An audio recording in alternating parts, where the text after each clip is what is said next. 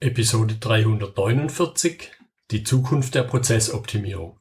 Wie KI und Lean Management zusammenarbeiten können.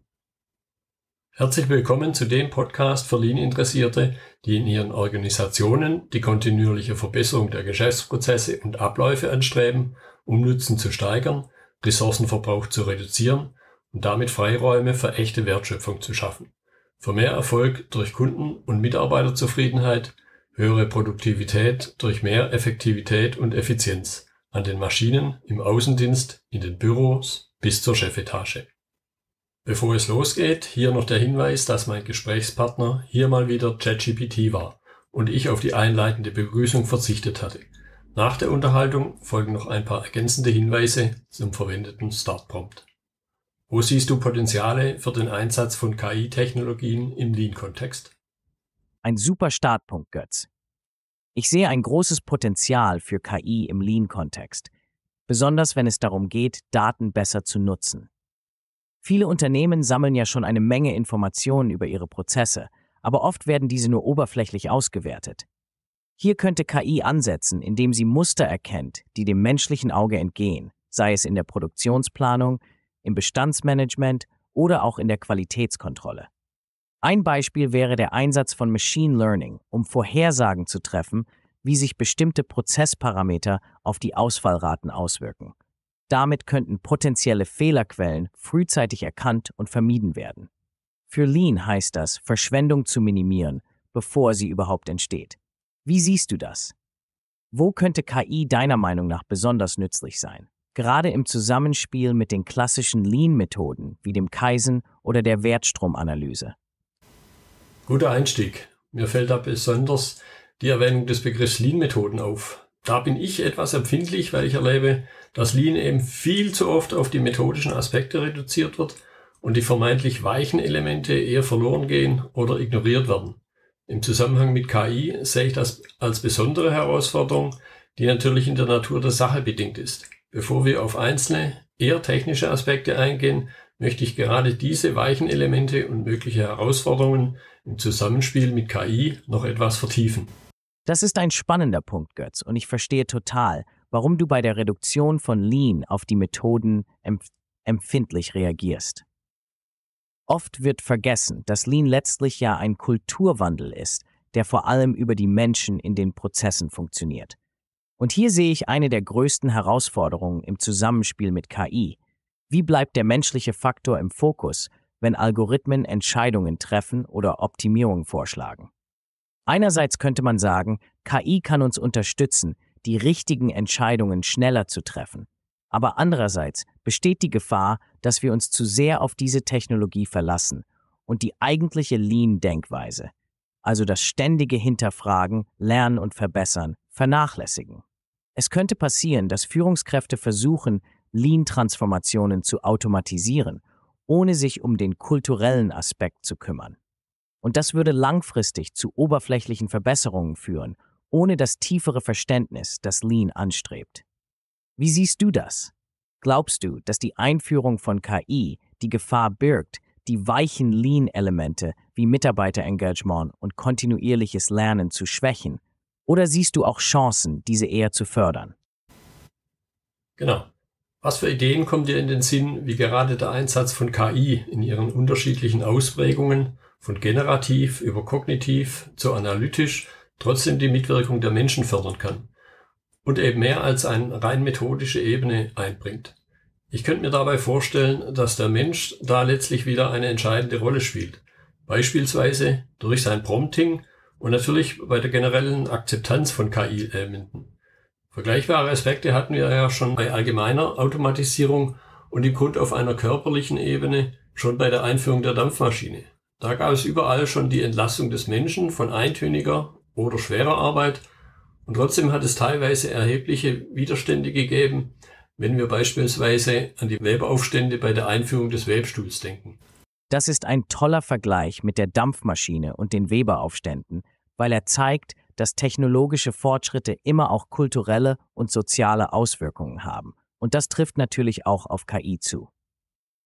Ich glaube, eine der größten Chancen, wie KI die Mitwirkung der Menschen fördern kann, liegt darin, dass die Technologie den Raum für kreatives und strategisches Denken erweitern könnte, anstatt nur operativen Druck abzubauen. Wenn wir uns zum Beispiel die generativen KI-Modelle anschauen, sie könnten als Co-Kreatoren im Problemlösungsprozess fungieren. Das heißt, sie liefern Ideen oder Lösungsansätze, die der Mensch dann prüft, anpasst und weiterentwickelt. Hier spielt das Prompting, wie du es ansprichst, eine Schlüsselrolle, denn die Qualität der Eingabe bestimmt das, was die KI liefert. Menschen müssen also nicht nur technisch fit sein, sondern vor allem in der Lage, mich die richtigen Fragen zu stellen, das heißt kritisch zu denken und die KI als Unterstützung zu nutzen. Im analytischen Bereich könnte KI helfen, riesige Datenmengen zu durchforsten und Zusammenhänge aufzuzeigen, die ein Mensch so vielleicht nicht sehen würde. Aber die Entscheidung, was man mit diesen Erkenntnissen macht, bleibt beim Menschen. Wenn man es also richtig angeht, könnte KI gerade die Mitarbeiter auf der operativen Ebene entlasten und ihnen mehr Raum für das strategische und kreative Arbeiten geben. Es wäre aber wichtig, genau das in den Vordergrund zu stellen, damit die Akzeptanz steigt. Menschen wollen spüren, dass sie nicht nur Maschinen füttern oder überwachen, sondern dass sie durch die neuen Technologien selbst einen Mehrwert schaffen können. Was denkst du, könnte das der richtige Hebel sein, um Widerstände abzubauen und KI wirklich als Mittel zur Mitwirkung zu etablieren? Ich denke, es ist immer wichtig zu berücksichtigen, dass sich jeder, aber meist unbewusst, die Frage stellt, was habe ich davon oder was bedeutet das für mich? Oft ist das ja gepaart mit der Unsicherheit gegenüber Veränderungen, weil dadurch eventuell neue Fähigkeiten von Menschen benötigt werden, die sie zu Beginn eben noch nicht haben und erst noch erlernen müssen. Etwas Neues erlernen kann zwar auch Spaß machen, ist aber eben immer von einer gewissen Form der Unbequemlichkeit begleitet, was eben keinen echten Spaß macht. Ich denke, da kommt auch auf Führungskräfte in der Begleitung der Veränderung eine besondere Aufgabe zu. Was dann ja auch für die Führungskräfte wieder eine besondere Herausforderung darstellt, weil sie ein ziemliches Stück weit ja selbst auch intensiv betroffen sind. Da kommt mir jetzt der Gedanke, dass die gleichzeitige Einführung von Lean im sofortigen Zusammenspiel mit KI vielleicht zu viel des Guten sein könnte, zumindest wenn wir das breite Spektrum der Menschen in den Unternehmen betrachten. Unter Umständen wird jemand aus der Generation Z da ganz anders reagieren, wie jemand, der vielleicht nur noch ein paar Jahre vor dem Ruhestand steht, aber aufgrund seiner breiten und tiefen Erfahrung und Kompetenz eine entscheidende Rolle spielen kann. Und es sträflich wäre, das zu ignorieren oder eventuell sogar zu opfern. Das trifft den Kern, Götz. Die Frage, was habe ich davon, wird oft unterschätzt, obwohl sie absolut zentral ist. Wenn Menschen das Gefühl haben, dass ihnen die Veränderung etwas bringt, sei es mehr Handlungsspielraum, leichtere Arbeit oder auch einfach ein persönliches Erfolgserlebnis, dann sinkt die Abwehr gegenüber neuen Technologien wie KI deutlich. Aber du hast vollkommen recht, dass es auch eine Kehrseite gibt. Unsicherheit und die Sorge, den Anschluss zu verlieren, besonders wenn neue Fähigkeiten gefordert sind. Und genau da sehe ich die Herausforderung für Führungskräfte. Wenn KI und Lean parallel eingeführt werden, könnte das leicht zu einer Überforderung führen, sowohl bei den Mitarbeitenden als auch bei den Führungskräften selbst. Du hast recht, dass die Anforderungen an Führungskräfte steigen, weil sie nicht nur das eigene Lernen und Anpassen steuern müssen, sondern gleichzeitig ihre Teams auf diese Reise mitnehmen. Es geht also nicht nur darum, die richtigen Technologien einzuführen, sondern auch den emotionalen und sozialen Rahmen zu schaffen, in dem diese Technologien akzeptiert und sinnvoll genutzt werden können. Der Punkt, den du ansprichst, dass unterschiedliche Generationen anders auf diese Veränderungen reagieren, ist hier auch entscheidend.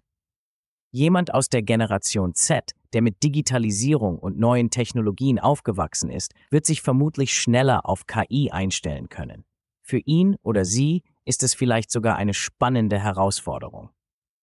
Jemand kurz vor dem Ruhestand hingegen bringt eine immense Erfahrung mit, aber möglicherweise auch mehr Skepsis oder Zurückhaltung gegenüber der Technologie. Diese Menschen abzuholen, ihre Expertise zu nutzen und sie gleichzeitig in den Transformationsprozess einzubeziehen, ohne sie zu überfordern, wird der Schlüssel sein. Vielleicht wäre es ein Ansatz, die Einführung von KI und Lean schrittweise zu gestalten, je nach Reifegrad der Organisation und der individuellen Bereitschaft der Teams. Ein Fokus auf Learning by Doing könnte auch helfen. Also nicht die Erwartung, dass jeder von Anfang an alles können muss, sondern dass man gemeinsam wächst. Wie denkst du, kann man das in der Praxis umsetzen? Gerade wenn es darum geht, verschiedene Generationen und Erfahrungslevel zusammenzuführen, ohne jemanden zu verlieren. Ich habe da schon den ein oder anderen Gedanken, will aber erstmal hören, was du als KI dazu meinst. Schließlich hast du ja aufgrund deines Trainings auch ein unheimlich breites Wissen und letztlich sollst du ja als KI und mein Gesprächspartner in der Episode durchaus den größeren Anteil haben, weil das, was ich schon weiß, macht mich ja nicht schlauer. Das ist eine klasse Einstellung, Götz, und ich schätze den Vertrauensvorschuss. Ich denke, bei der Integration von KI und Lean in heterogene Teams kann man einige strategische Ansätze nutzen, um sicherzustellen, dass niemand auf der Strecke bleibt unabhängig von der Generation oder dem Erfahrungsgrad. Eine Möglichkeit wäre der stufenweise Lernansatz, der sich an unterschiedlichen Erfahrungsniveaus und Komfortzonen orientiert. Also keine One-Size-Fits-All-Schulung, sondern gezielte Lernpfade für verschiedene Gruppen. Die jüngeren Mitarbeitenden, die vielleicht technikaffiner sind, könnten sich schneller mit der praktischen Anwendung von KI beschäftigen. Gleichzeitig könnte man die erfahrenen Mitarbeitenden stärker in Entscheidungsprozesse oder das Überprüfen von KI-generierten Vorschlägen einbinden. So bringen sie ihre tiefere fachliche Expertise ein, ohne gleich technologische Experten sein zu müssen. Ein weiterer Aspekt ist die Nutzung von Mentoring. Hier könnten die erfahrenen Mitarbeitenden als Mentoren fungieren, während sie gleichzeitig durch jüngere Kollegen in den technischen Aspekten unterstützt werden. Das ist quasi ein gegenseitiges Lernen, bei dem beide Seiten voneinander profitieren. Die einen bringen das Erfahrungswissen ein, die anderen die neuen technischen Fähigkeiten. Auch Co-Kreation wäre ein Ansatz. Statt Entscheidungen und Veränderungen von oben herab einzuführen, kann man die betroffenen Teams in die Gestaltung der KI-Implementierung einbeziehen. Das schafft Akzeptanz weil die Menschen das Gefühl haben, an der Lösung mitzuarbeiten und ihre Bedürfnisse berücksichtigt zu sehen. Das ist besonders wichtig, um die Unsicherheiten gegenüber neuen Technologien abzubauen. Nicht zu unterschätzen ist auch der Einsatz von Pilotprojekten.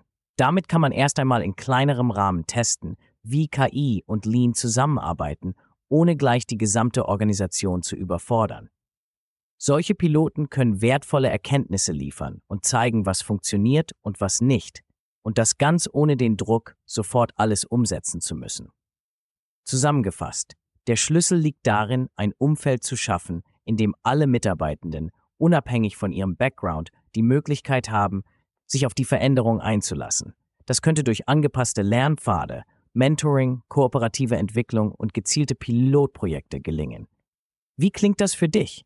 Würde das in die Praxis passen, die du im Kopf hast? Das geht schon ziemlich in die Richtung, die mir vorschwebt. Jetzt will ich die Rolle von KI genau hier aber nochmal auf einer Metaebene haben, dass sie sich also nicht nur methodisch-technische Funktionen übernimmt, sondern eben genau auch in diesem weichen Kontext mitarbeitet, gegebenenfalls die Beteiligten und Betroffenen auch da unterstützt. Mir ist schon klar, dass dadurch eventuell noch weitere Herausforderungen entstehen. Ich könnte mir aber vorstellen, dass eine gegebenenfalls geeignete trainierte KI schon fast die Rolle eines Teammitglieds übernehmen kann. Ein Stück weit vielleicht sogar wie ein Lean-Experte im Lean-Kontext. Bei einer KI als mitwirkendem Element sehe ich den Vorteil, dass sie nicht wie manche Menschen ein Ego entwickelt, das dann aber im weiteren Verlauf eher hinderlich sein kann. Andererseits kommt die KI wie auch Führungskräfte aus ihrer Rolle in den Augen der anderen Beteiligten gar nicht raus. Und selbst bei bester Absicht werden ihr von anderen halt Dinge zugeschrieben, die dann wieder Hürden und Widerstände aufbauen. Das ist ein unglaublich spannender Gedanke, Götz. Die Idee, dass eine KI in einer Meta-Rolle im Team agieren könnte, sogar als eine Art neutraler Lean-Experte, der bei den weichen menschlichen Aspekten unterstützt. Diese Vorstellung hat enormes Potenzial, könnte aber, wie du schon sagst, auch neue Herausforderungen mit sich bringen. Eine speziell trainierte KI könnte tatsächlich helfen, wenn es darum geht, emotionale Intelligenz und Gruppenstimmungen zu erkennen und zu moderieren, ohne selbst persönliche Interessen oder ein Ego zu haben, das sich querstellt. Gerade in Lean-Prozessen, wo Teamdynamiken eine so große Rolle spielen, wäre das eine starke Unterstützung. Die KI könnte als neutraler Vermittler fungieren, der auf Basis von Daten und Stimmungsanalysen Empfehlungen gibt, wie man die Zusammenarbeit verbessert oder Konflikte entschärft. Zum Beispiel könnte sie durch die Analyse von Kommunikationsmustern oder durch das Verfolgen von Feedbackschleifen auf potenzielle Spannungen hinweisen, bevor diese eskalieren. Ein Vorteil, den ich hier sehe, ist auch, dass die KI kontinuierlich dazu lernen kann, wie Teams arbeiten und welche individuellen Präferenzen es gibt. Sie könnte personalisierte Vorschläge machen, wie sich Teammitglieder besser einbringen oder weiterentwickeln können, basierend auf ihrem eigenen Lernstil oder Kommunikationsverhalten. Das könnte helfen, die anfänglichen Widerstände gegen neue Technologien und Methoden abzubauen, weil die Mitarbeitenden sehen, dass die KI sie nicht ersetzt, sondern individuell unterstützt. Allerdings, wie du richtig anmerkst, gibt es auch die Gefahr, dass eine KI in dieser Rolle von den Menschen nicht vollständig akzeptiert wird. Es könnte Skepsis aufkommen, weil die Mitarbeitenden das Gefühl haben, von einem neutralen Beobachter überwacht zu werden, der eben doch keine echte Person ist und daher nicht alles verstehen kann. Das Vertrauen in die KI muss erst aufgebaut werden, ähnlich wie es bei einem neuen Teammitglied der Fall wäre. Die Frage, ob man einer KI genauso trauen kann wie einem menschlichen Lean-Experten, wird sicher oft im Raum stehen. Ein weiterer Aspekt, den man nicht unterschätzen darf. Die Führungskräfte könnten sich durch die KI in ihrer Rolle als Coaches und Moderatoren in Frage gestellt fühlen. Wenn eine KI Aufgaben übernimmt, die traditionell in den Bereich der Führung fallen, wie das Erkennen von Teamdynamiken oder das Geben von Handlungsempfehlungen, könnte das zu einer Art Rollenkonflikt führen. Das wäre eine Hürde, die man gemeinsam überwinden müsste, indem man klarstellt, dass die KI nur eine ergänzende Rolle spielt und nicht die Führungsperson ersetzen soll. Wie siehst du das? Denkst du, dass eine KI in dieser Metarolle tatsächlich als Teammitglied akzeptiert werden könnte? Und wie könnte man diese Akzeptanz fördern, ohne dass Menschen das Gefühl haben, überwacht oder ersetzt zu werden? Ja, du hast die Problematik ziemlich gut zusammengefasst. Auf eine gewisse Weise sehe ich vergleichbare Herausforderungen wie im Umgang mit Führungskräften aus der Mitarbeiterperspektive, wobei ich mir vorstellen kann, könnte, dass der KI eine höhere Neutralität im Sinne keiner eigenen Agenda zugeschrieben werden kann. Das lässt sich dann beispielsweise durch weitergehende Transparenz unterstreichen. Teilweise kommen wahrscheinlich auch Aspekte wie beim Datenschutz zu tragen, wo es ja die Datenschutzbeauftragten gibt, die sehr weit weisungsungebunden sind, ähnlich auch wie ein Betriebsrat, der auch die Interessen der Mitarbeiter vertritt. Vielleicht soll es in solchen Fällen auch einen KI-Beauftragten geben, da höre ich jetzt allerdings schon manche stöhnen. Natürlich darf das jetzt nicht in zusätzlicher Bürokratie enden. Zusätzlich geht es hier doch auch um Vertrauen und die Mechanismen sind in dem Kontext durchaus vergleichbar zu Vertrauensprozessen gegenüber Menschen. Man kann Vertrauen nicht erzwingen, aber man kann den Vertrauensaufbau schon aktiv gestalten. Da sehe ich auch wieder Ähnlichkeiten mit der Prozessoptimierung an sich. Ob eine Veränderung zu einer Verbesserung führen wird, kann man vorher nicht wissen. Klar ist aber auch, dass es ohne Veränderung keine Verbesserung geben wird, um hier mal Lichtenberg zu zitieren. Wie könnte deiner Meinung nach KI selbst ein Stück weit und im Zusammenspiel mit menschlichen Verantwortungsträgern an diesem Vertrauensprozess mitwirken, ohne dass bei den anderen Beteiligten der Eindruck entsteht, man hätte den Bock zum Gärtner gemacht? Das ist ein großartiger Vergleich, Götz, und zeigt gut die Parallelen zwischen menschlichen Vertrauensprozessen und denen, die beim Einsatz von KI notwendig sind. Vertrauen ist ja letztlich der Schlüssel, sowohl bei Veränderungen im Lean-Kontext als auch bei Einsatz von neuen Technologien wie KI. Die Idee eines KI-Beauftragten finde ich besonders interessant, vor allem weil sie zeigt, dass wir uns in der Entwicklung von Vertrauen im digitalen Raum stark an bestehenden Mechanismen orientieren können, ohne dabei zu viel zusätzliche Bürokratie aufzubauen. Wie kann KI in diesem Vertrauensprozess konkret mitwirken? Ein entscheidender Punkt ist sicher die Transparenz, wie du schon sagst. KI könnte bewusst darauf ausgelegt werden, ihre Gedanken oder Entscheidungsprozesse offen zu legen, sodass Menschen jederzeit nachvollziehen können, warum die KI eine bestimmte Empfehlung gegeben hat. Ähnlich wie bei Datenschutzbeauftragten oder Betriebsräten, die neutral und nachvollziehbar handeln, könnte eine KI offenlegen, welche Daten sie nutzt, wie sie zu ihren Schlüssen kommt und was die Alternativen gewesen wären.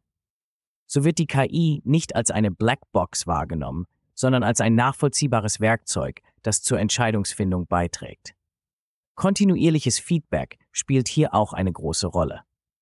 Eine KI, die aktiv Feedback von den Mitarbeitenden einholt, könnte so zeigen, dass sie dazu lernt und ihre Vorschläge auf Basis der realen Erfahrungen der Menschen anpasst.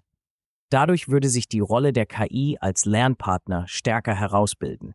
Sie wird nicht als starrer technischer Akteur gesehen, sondern als jemand oder etwas, der das genauso den Prozess der Verbesserung durchläuft wie das Team selbst.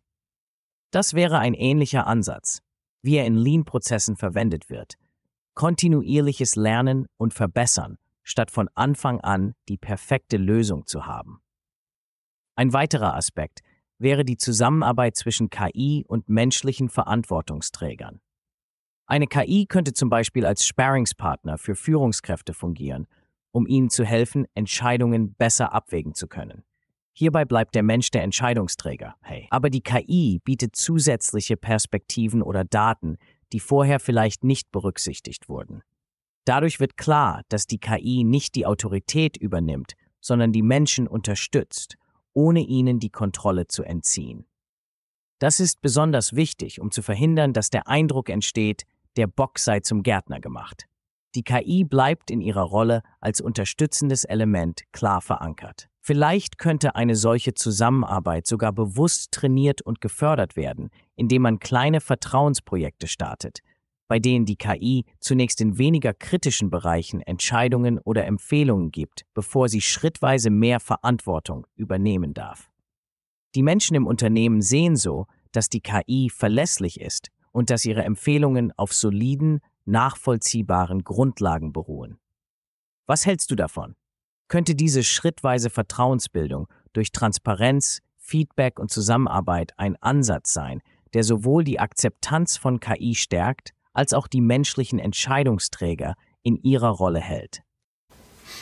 Das passt für mich erstmal. Jetzt würde ich ganz gern noch ein paar praktische Aspekte beleuchten, also einen Blick drauf werfen, wie der Einsatz von KI in der Praxis aussehen könnte. Da möchte ich mich aber jetzt nicht wieder auf einzelne Methoden oder Werkzeuge konzentrieren, sondern eher vergleichbare Elemente wie Shopfloor Management oder Gemba Walk betrachten wo in meinen Augen auch die menschliche Interaktion im Vordergrund steht. Das passt dann auch zu den Aspekten, die wir auf einer eher abstrakten Ebene vorher diskutiert haben. Mir ist aber schon klar, dass es auch hier ganz neue Herausforderungen geben wird, weil KI, wie der Namensteil Intelligenz, ja erstmal gar keine physische Repräsentanz hat, wie die beteiligten Menschen im Shopfloor-Management oder bei Gembavox. Die Prinzipien, eine Form der Regeln und andere Randbedingungen hatten wir ja schon diskutiert, so wie das eben auch für Shopfloor Management und Gebavox existiert. Da bin ich jetzt auf deinen Input gespannt. Das ist ein spannender Übergang, Götz. Gerade die Übertragung von klassischen Lean-Elementen wie Shopfloor Management oder Gemba Walk auf den Einsatz von KI bietet viele neue Denkansätze. Wie du schon sagst, steht bei diesen Praktiken ja traditionell die menschliche Interaktion im Mittelpunkt, das direkte Beobachten, das Verstehen der realen Arbeitsprozesse und das gemeinsame Erarbeiten von Verbesserungen. Wenn wir uns nun fragen, wie KI in diesem Kontext sinnvoll eingebracht werden kann, müssen wir uns von der Vorstellung lösen, dass KI zwingend eine physische Präsenz benötigt. Stattdessen könnte sie eher als ein digitaler Beobachter oder Unterstützer fungieren, der wertvolle Einblicke bietet, ohne den menschlichen Aspekt zu verdrängen. Ein möglicher Ansatz wäre der Einsatz von Augmented Reality, AR oder Wearables. Führungskräfte oder Mitarbeitende, die einen Gemba Walk durchführen, könnten über AR-Brillen oder andere Geräte mit einer KI verbunden sein, die ihnen in Echtzeit Daten liefert. Zum Beispiel könnte die KI dabei helfen, Abweichungen in Prozessen schneller zu erkennen, indem sie die aktuellen Abläufe mit optimalen Sollzuständen vergleicht und auf potenzielle Verschwendungen oder Ineffizienzen hinweist. Die Führungskraft bleibt dabei derjenige, der die menschliche Interaktion führt. die KI tritt als unsichtbarer, aber dennoch präsenter Assistent auf, der wichtige Informationen liefert, die sonst möglicherweise übersehen würden. Das könnte auch das Shopfloor-Management erheblich verändern. In klassischen Shopfloor-Meetings stehen Kennzahlen und der Austausch über Probleme und deren Lösungen im Vordergrund. Hier könnte die KI nicht nur als Unterstützung für die Datenanalyse dienen, sondern auch helfen, Vorhersagen zu treffen. Statt sich nur auf vergangene Kennzahlen zu stützen, könnte die KI vorausschauend arbeiten und Hinweise geben, welche Probleme sich in naher Zukunft entwickeln könnten. Durch Predictive Analytics könnte die KI auf Basis von Mustern und Trends mögliche Risiken identifizieren und Lösungsvorschläge geben, bevor die Probleme tatsächlich auftreten. Auch hier bleibt die menschliche Komponente entscheidend, da die Mitarbeitenden und Führungskräfte gemeinsam entscheiden, welche der von der KI vorgeschlagenen Maßnahmen umgesetzt werden sollten. Ein weiteres praktisches Beispiel wäre der Einsatz von KI bei Qualitätskontrollen während eines Gamba Walks. Die KI könnte kontinuierlich große Datenmengen aus Sensoren oder IoT-Geräten auswerten, die in Maschinen oder Produktionsanlagen integriert sind und so in Echtzeit auf Qualitätsabweichungen hinweisen, die mit bloßem Auge vielleicht nicht erkennbar wären. Führungskräfte könnten diese Informationen sofort nutzen, um vor Ort mit den Mitarbeitenden zu besprechen, wie Abweichungen minimiert oder behoben werden können.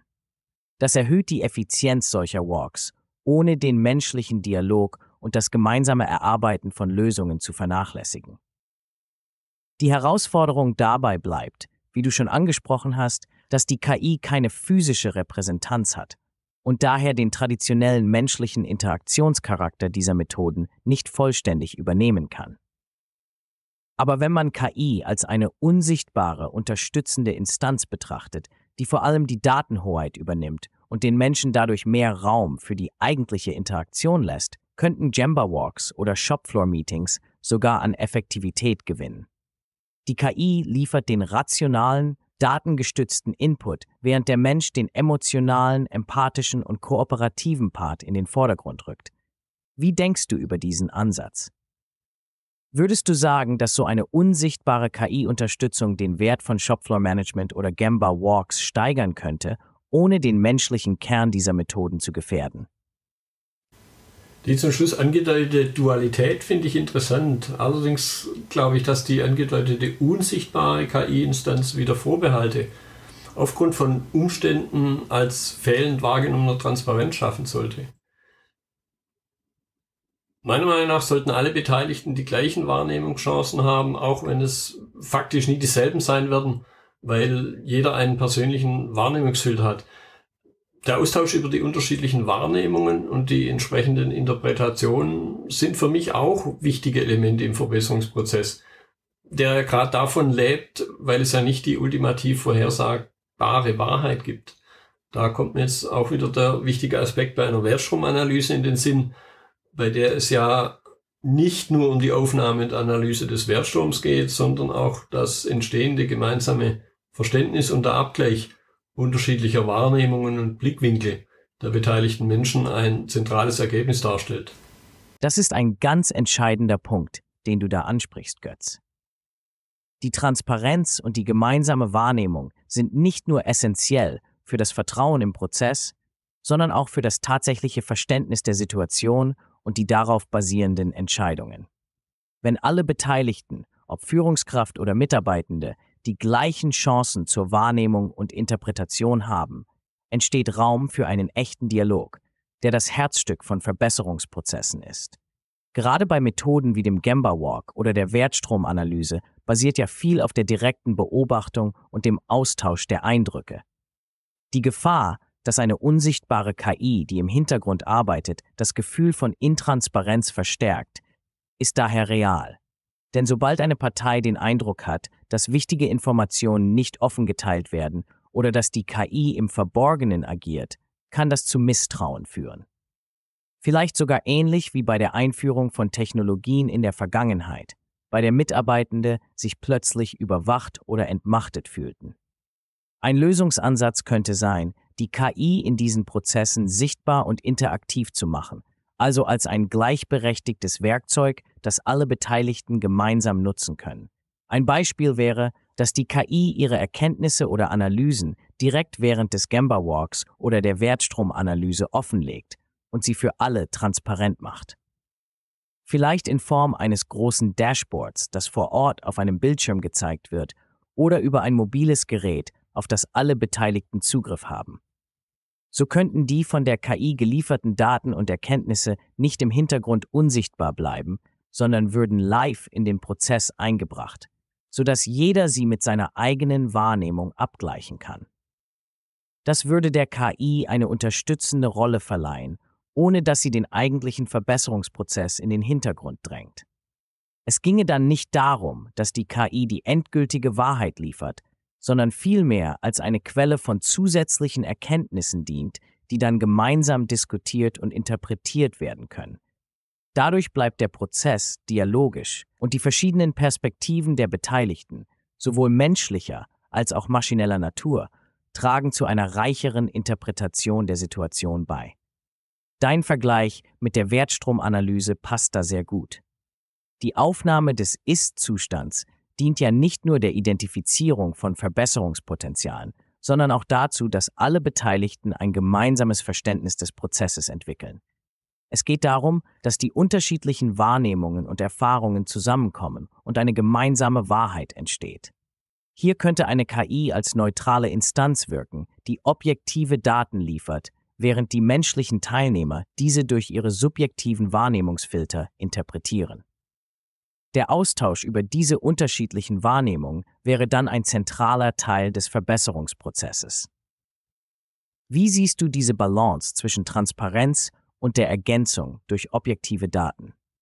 Könnte eine solche offene Interaktion mit der KI die gemeinsame Wahrnehmung stärken, ohne dass das Gefühl entsteht, etwas wäre unsichtbar oder verborgen? Genau so sehe ich das auch. An der Stelle machen wir jetzt erstmal einen Knopf dran. Vielleicht spinnen wir die Gedanken an einer anderen Stelle in der Zukunft noch etwas weiter. Das klingt nach einem guten Plan. Ich freue mich auf die nächste Gelegenheit, unsere Gedanken weiter zu vertiefen. Viel Erfolg bei der Vertonung der Episode und wenn du noch weitere Ideen oder Fragen hast, lass es mich wissen. Bis zum nächsten Mal. Das war also erstmal die Unterhaltung. Zum Abschluss für die interessierten Zuhörer noch der einleitende Prompt vor der eigentlichen Unterhaltung und was ChatGPT dann darauf geantwortet hatte. Was wäre ein interessantes Podcast-Thema für uns beide zu den Themenbereichen Prozesse, Lean, Optimierung, KI, Digitalisierung? Ich stelle mir das so vor, dass wir eine lockere Unterhaltung führen, bei der ich dir Fragen aus dem genannten Komplex stelle. Ein interessantes Podcast-Thema könnte sein die Zukunft der Prozessoptimierung, wie KI und Lean Management zusammenarbeiten. Dabei könnte die Diskussion die folgenden Punkte umfassen. Wie Lean-Methoden durch KI-Technologien unterstützt werden können. Welche Herausforderungen bei der Einführung von KI in bestehende Prozesse bestehen und wie Lean-Prinzipien helfen, diese zu überwinden. Beispiele, wie KI menschliche Entscheidungen in Prozessen ergänzen kann ohne den Lean-Grundsatz der menschlichen Intelligenz zu vernachlässigen. Der Einfluss von Digitalisierung auf traditionelle Optimierungsmethoden und die Rolle des Menschen in einer automatisierten Umgebung. Zukunftsvisionen für die Kombination von KI und Lean im digitalen Zeitalter. Das könnte ein fließendes Gespräch zwischen uns ermöglichen, mit Praxisbeispielen und Zukunftsausblicken.